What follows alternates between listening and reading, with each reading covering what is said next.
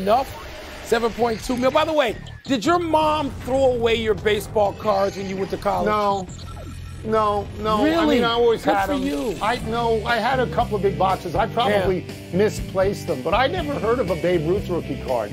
I mean, everybody's heard of the Honus Wagner, but I, you know, I didn't That's hear of the Babe Ruth rookie card. 1914, right? Babe Ruth's So rookie season, 1914. I guess. Welcome to PTI, boys and girls. In today's episode, the Niners crush the Eagles, the Packers top the Chiefs, and Ohio State's quarterback enters the portal. But we begin today with a controversy over the playoff committee's final four. Undefeated ACC champion, 13 0 Florida State, was left out, while one loss Texas and Alabama were put in underneath Michigan and Washington, who are both undefeated conference champions, just like Florida State. Wilbon, are these the choices you would have made? Yeah, Tony, probably. If I was voting, um, I think I would have wound up, despite some real conflicts and some objections that I would have to get over on my own ballot. I think I would have voted for those four. I feel bad, genuinely bad for Florida State. Because, Tony, one of the lessons that football purports to teach, fraudulently, usually, is that you persevere and you play through your wounds and your injuries and you overcome, right? And you do all these Yeah. things. That's what Florida State did.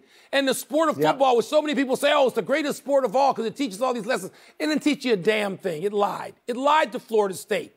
The sport of football lied because Florida State did all the things it was required to do and then some and didn't get in. You know what I mean? Come on, Right. they're the champions of a Power Five. It's not called the Yep. oh the lesser of the Power Five, even though it may be. It's a Power Five conference, and Florida State was told to get away because they got injuries. As if there's no Lou Gehrig in this culture, as if there's no Tom Brady, two famous, famous, famous athletes in American history who got in as a result of injuries to someone in front of them. So football lied to them. It's sad. Would I have voted the same way the committee did? Probably so. Yeah, so I like the fact that you accuse football of lying, but you concede that you would vote the exact same way. So you Yeah. would have lied to Yeah, Florida State. me too. You personally Me would have too. lied to Florida State. Yep. So I believe that there's there's one thing at play here. Do you want the best four teams or do you want the most deserving four teams? If you want the most deserving, Florida State should be in there. They are 13 and 0. They won every single game that they had. They persevered, as you said, and they deserve to be in there. I'm going to go the other way, though, Mike. I mean, I believe that the ACC is not nearly as good a football conference as the SEC. I believe if Florida State was in the SEC, they would lose two or three games. I believe if they played Alabama five times, they would lose at least four games. So I'm okay with Alabama and Texas being in there because I, I actually think that they are better teams. I'm going to go over the bell because because the great irony here, Mike, is that this all would never have happened if the guy who made the call on the defense of Auburn, on the last play of Auburn in Alabama, yeah. didn't make the stupidest, most fireable call in the world because they never went after Milroe. They gave him time to stand there and calmly pick out a guy on a 31 yard touchdown pass. If they forced him out, Yeah. Alabama would not have won that game. They would have two losses. Yeah. Florida State would be in this. And by the way, if Georgia had won, Yeah. Florida State would be in this because four unbeaten teams. The allure of that But let me would have made it possible for Florida. So you just took down the ACC. The committee then lied again because they voted Florida State based on its record in that ACC, which you find substandard. Number It four all voted the them in the Well, top four the whole winter. So what are we That's talking right. about? I don't find it substandard, Mike. I find it not as good as the SEC or the Big Ten. And by the way, most years we're talking about not even having three teams you want to Yeah, see. that's And we certainly never have 12, but this year we had eight. And Mike, It was if you took Oregon and Florida State and Georgia and Ohio State, who were number one for almost the entire year, and put them against the four that are in, they may win three of the Yeah, four. that's- it's that's- conceivable that's- to me. it's- it's But I, what I'm saying to you is I think everybody takes the easy route and says how sad they feel for Florida State. That's fine. But I think the best four got in, and so do you. I don't know about the best four. I'm not saying that. You and Herbie The can go right with the best four. You I don't know what that the right means. four. It's subjective. You said the right. You said it's you would do it. It's the four. I would have voted for. It doesn't mean it's Okay, right, they're the best. and it doesn't mean they're the best. I'm glad. It does. I'm glad you Grand Poobahs know that. I'm glad you do. Yeah, they're the best four. Let's move That's to right. the NFL. I stand by that. And the Niners' definitive win over the Eagles Francisco. That's the best team today. today. I'm not saying it's the best team in five weeks. That's the best team in the NFL today. They have four people who can score from anywhere on the field. They have Samuel, they have McCaffrey, they have Kittle, they have Aiyuk. Anywhere on the field.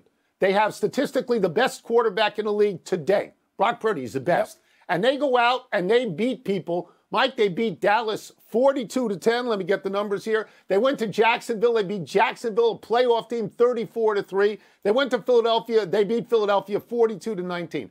The teams that they have played have a winning percentage of 531, whereas the teams that Philadelphia has played, 497. Dallas, not even on the board, 397. Dallas beats people that can't win games. So now, last week we talked about this. Why would an 8 and 3 San Francisco team be a two and a half point favorite on the road at 10 and 1 Philadelphia? And I tried to tell you it's because there was no jeopardy for Philadelphia. They were two games ahead of San Francisco in the conference, a game and a half ahead of Dallas in the division. So even by losing, their position stays the same. They are still in first place. And they had come out of three really tough games. I think Buffalo, Dallas, Kansas City, they'd won them all. So I thought, and maybe you thought too, there could have been a letdown. Yeah, I- you know, Tony, yes. I, I don't disagree with you on anything you said there, except you skipped the part where that great San Francisco juggernaut lost three games in a row a few weeks Yes, ago. puzzling. So I'm not going to crown them yet, to steal a phrase from the late, great Dennis Green. I'm not going to crown them. And I'm not going to crown Kansas City, and we'll get to them in a second, like everybody else who's on any network or has a cell phone wants to do, is to crown them now. Things happen. You are absolutely right mm. about San Francisco's offense. It looks like the offense of Montana slash Young, Rice, Taylor, Roger Craig, Yeah. who was the tight end Yeah. I'm missing on that, and Rathman. Oh my God, it looks like that with Bill Walsh at the helm. It does. And Tony, they didn't win every year. They won a few. They didn't win all the time. Let's see where this goes. For Philly, just for a second, I think this may work in Philly's favor in that now they got to pay attention. If Philadelphia is more than just arrogant, if they are really, truly stubborn in a way that benefits you in sports, they went to practice today angry and they will stay that way until the playoffs. If they are no more than, if they are something more than just a phony angry, a phony The arrogant. team. 49ers, the 49ers tight end was Brent Jones. Brent Jones, thank you. And Samuel and Trent Williams missed those three games that they lost where Purdy wasn't any good. They are 9 and 0 when those two guys are on the squad. And in those nine games, Mike, they have scored 30 or more eight times and 27 the other time. So they may be the secret sauce. We move now to the Green Bay Packers beating Kansas City, who you can't stand, in Lambeau last night and getting their record to 6 and 6, which is playoff ready in the NFC. There was a questionable pass interference non call in the final minute that could have given Kansas City the ball on the six yard line. Wilbon, did this result tell you more about the Chiefs or the Packers? Six weeks into an NFL season, I hate them. Are we are we are we clear now on who I hate Sure. and find loathsome? That's who I hate. So I also am not fond of the person who allows the greatest quarterback of all time, I'm told by some people, including you. I'm not fond of a guy who limits him to 19 points and limits him every week. And you can check the criticism I've made on him running the Kansas Well, City offense. That would Who- be who are Matt Nagy, about? To Okay, be just- just specific, put it out okay? there. So it out there, the right. Packers, Jordan Love, and the Packers are coming, and I think they're going to make the playoffs, and they could be a really tough out. In Kansas City, anybody want to crown them right now? Because they got some losses too. I think they have four. Four. Four. They have four. Okay. Right. So I think it says more about the Packers. And I'm one of those people who thought the Packers were done this year. And I'm one of those people who thought Jordan Love wasn't any good. And I can see that I very well may have been wrong. And that when they went up to the first round to draft him, even though Aaron Rodgers was still playing and still healthy, and I thought that was a bad idea, maybe it isn't. Maybe he follows in the line of Favre and Rodgers and Love. Maybe he does, because he outplayed Mahomes last night. He had three touchdown passes. He had no interceptions. In the three game winning streak that they're on, he's got eight touchdown passes and no interceptions. So, one of the good things about being on the show is to be able to say, I think I might have been wrong about that. Now, in terms of, and another thing, you think that all coaches in the NFL stink. Um, Matt LaFleur at the moment is 16 and 0 in December. He ain't that good in January and February, but he's 16 and 0 in December. I don't think it's time to panic about the Chiefs for this reason, Mike, because I've seen them and you've seen them win a couple of Super Bowls in the past few years with essentially this crew. Um, I, I think that it's an interconference or a non conference road game.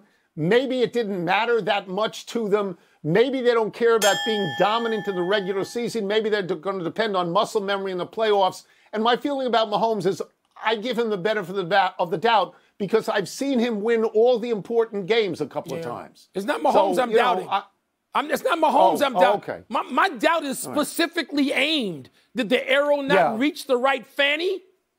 No, so so then I guess you would blame him that Taylor Swift, who was 4 and 0 in games she sat in on, is now 4 and 1. Let's take a break.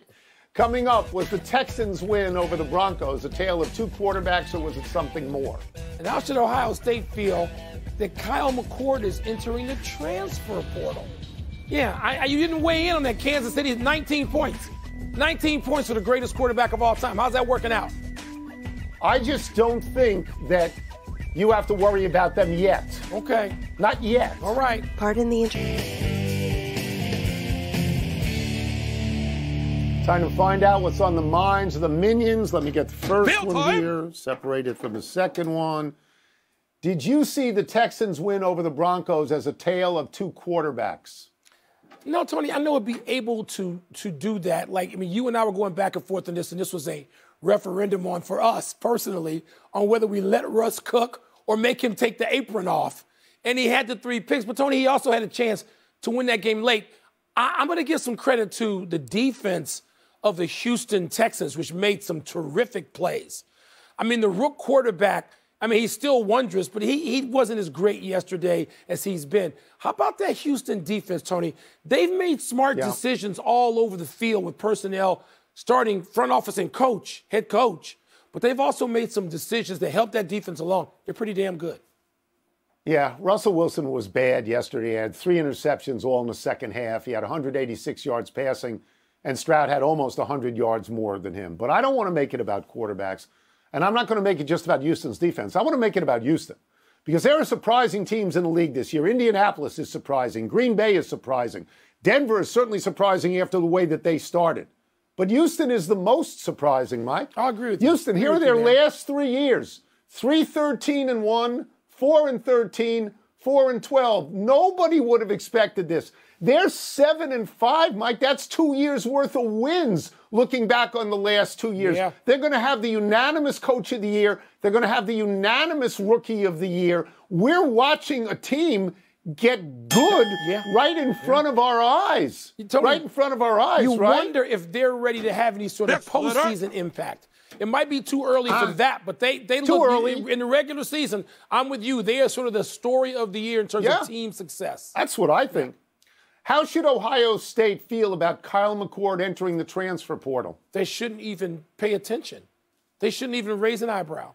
Because everybody enters the transfer portal. Like 50% of the kids on any team at any school are in the transfer portal. Quarterbacks are in the transfer portal. Whether you're a top 10 national university or not, a big state U factory school, all your kids are going in and out of the transfer portal. So Ohio State will find somebody else.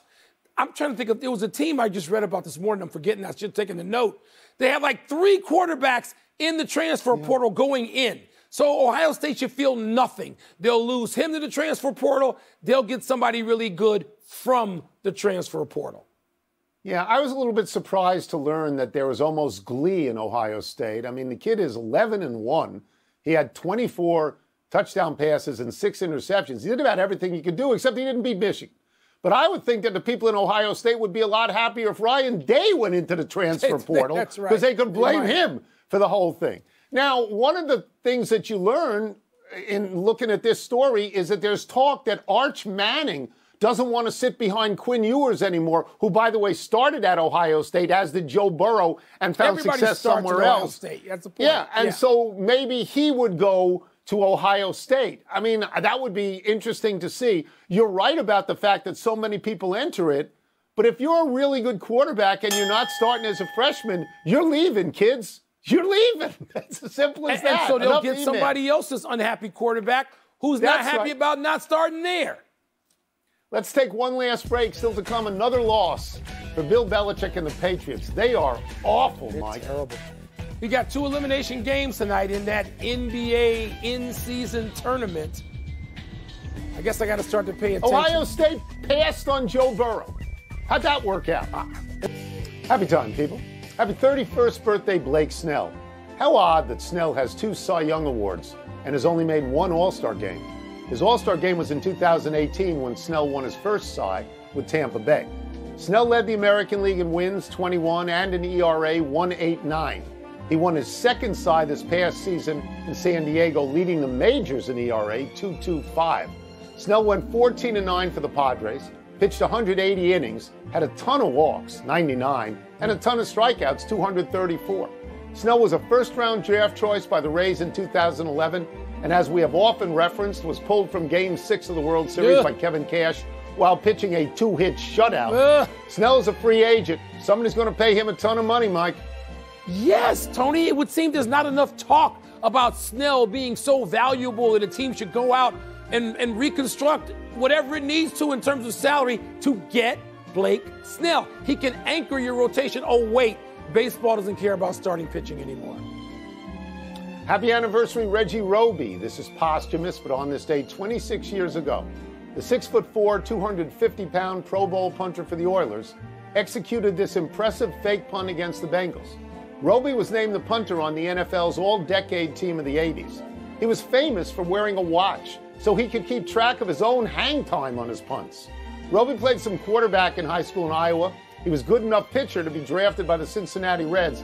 In 2009, while wearing Houston Oilers throwback uniforms, the Tennessee Titans paid tribute to Roby by calling the same fake punt in the Hall of Fame game in Canton, and it went for a 40 yard touchdown.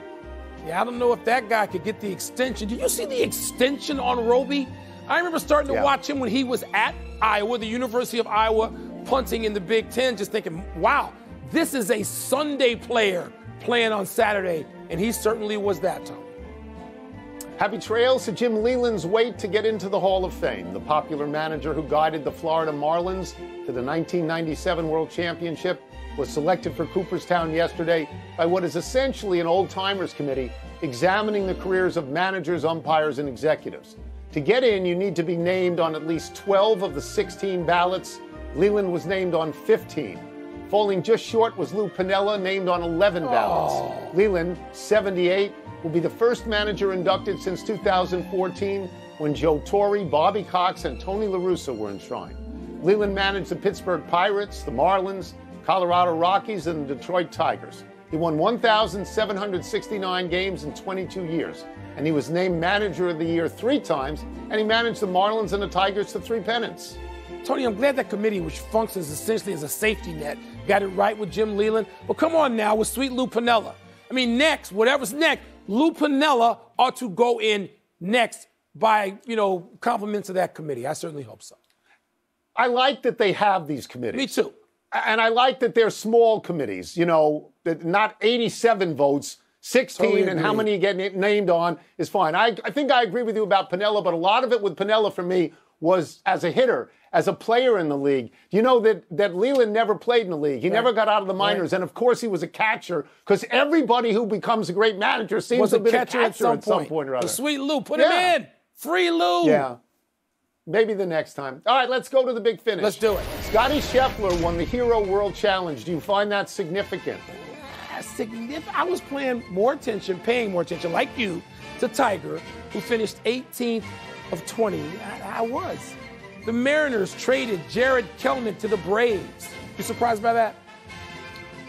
He's been a great prospect who hasn't actually delivered. They're cutting salary. Maybe they want Yeah. Ohtani. What do you think? Yeah. Women's hoops. Um, number 11 UConn lost. I got to get the prompter up with me. To number 10 Texas is now 4 and 3. Your thoughts? It's a long season, but UConn's struggling right now. So is Duke men, men's team. Five and three, ranked. Come on now. The Chargers beat the Patriots 6 0. Your takeaway. They have no offense. Doesn't matter who the quarterback is. They held teams to 10 points or fewer the last three games, and they lost because they scored 6, 7, and 0. It's a disaster. Last one in season tournament quarters tonight Celtics Pacers, Pelicans Kings. Who you got? If Halliburton plays, I will take the Pacers even though the Celtics are the best team in the league. And I'm taking Sacramento to light the beam, Tony. Those are two teams I got tonight. We're out of time. We will try and do better the next time. And I'm Tony Kornheiser. I'm Mike Wilbon. Same time tomorrow, Knuckleheads. And now to get you set from Monday Night Football, here's Scott Van Pelt and the Countdown Crew. And we have to linger. You should have given it more. You know, now we're going to.